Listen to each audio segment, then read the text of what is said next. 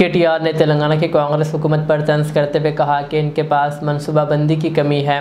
उन्होंने कहा कि हाइड्रा के ज़रिए बड़े बिल्डर्स को ब्लैकमेल किया जा रहा है और गरीब आवाम को डराया जा रहा है। के टी आर ने कहा कि बी आर एस के अरकान असम्बली और एम एल एज़ गरीबों की हिमायत में बुलडोज़र कार्रवाइयों के खिलाफ खड़े होंगे। वज़ी अला रेवंत रेड्डी पर तनकीद करते हुए के टी आर ने पूछा कि वी एल एफ़ स्टेशन आवाम के लिए कैसे फ़ायदेमंद होगा। अमेरिका और बरतानिया जैसे ममालिक ने कहा कि बहरिया के इस स्टेशन को अवामी इलाकों में नहीं बनाया जाना चाहिए। ऐसे प्रोजेक्ट्स को लोगों से दूर जंगल में रखा जाना चाहिए। के टी आर ने हुकूमत को चैलेंज किया कि वो एसी कमरों में ऑल पार्टी मीटिंग के बजाय मूसी इलाकों में अवामी जलसा करें। उन्होंने कहा कि रेवंत हुकूमत ने अस्सी हज़ार करोड़ से जायद का कर्ज लिया, लेकिन कोई नई स्कीम नहीं लाई और ना पुरानी स्कीमों पर काम किया।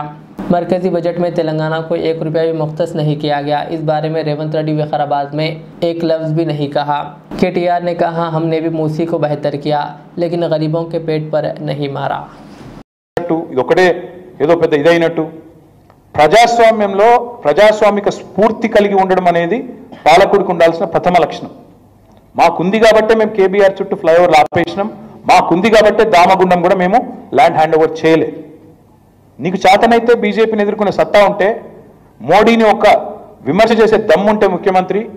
ఎందుకంటే ఈ ముఖ్యమంత్రికి ఆ- పరిస్థితి లేదు. రేవంత్ రెడ్డి గారికి మోడీని చూస్తే దడ.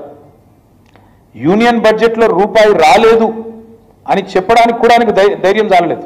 ఆఖరికి బట్టి విక్రమార్కతో మాట్లాడిచ్చిండు. ఆయన మేము అడిగినాం ముఖ్యమంత్రి గారు మాట్లాడాలి కదా ఇంత ఇంపార్టెంట్ సబ్జెక్ట్ అంటే మాట్లాడలే భయపడ్డాడు. నిన్న కూడా అక్కడ పోయి ఒక బీజేపీ నాయకుడు మాట్లాడినట్టు దేశ రక్షణ ముఖ్యం దేశం మేము కాదన్నామా? దేశ రక్షణ గురించి?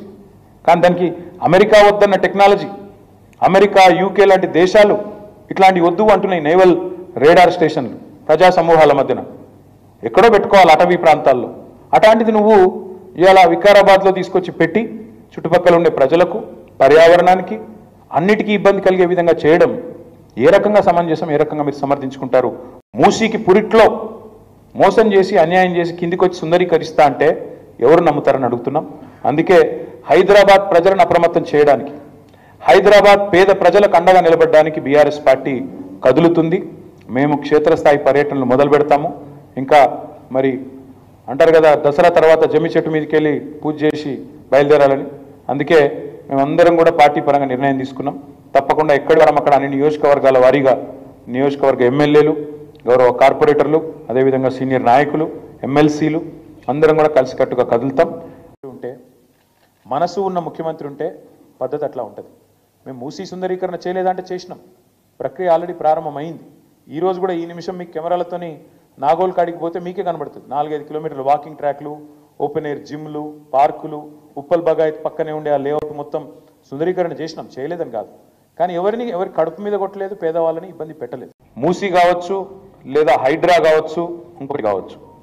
ఏ సమస్య అయినా దానికంటూ ఒక నిర్దిష్టమైన ఆలోచన ఒక పద్ధతి ఒక ప్రణాళిక ఏది కూడా ఈ ప్రభుత్వానికి లేదు. ఇవాళ హైదరాబాద్ మహానగరంలో హైడ్రాని మాకు అర్థమైంది ఏంటంటే కేవలం బిల్డర్లను పెద్ద పెద్ద వ్యాపారవేత్తలను బెదిరించడానికి బ్లాక్మెయిల్ చేయడానికి వసూలు చేయడానికే వాడుతున్నట్టుగా మా పార్టీ యొక్క స్థిరమైన అభిప్రాయం. పేదవాళ్ళను కొట్టాలి భయపెట్టాలి కొన్ని ప్రాజెక్టుల పేర్లు చెప్పాలి. చెప్పి మొత్తానికి వాళ్ళ దగ్గర డబ్బులు వసూలు చేయాలనే ఒక ఆలోచన కనబడతా ఉన్నది. రెండో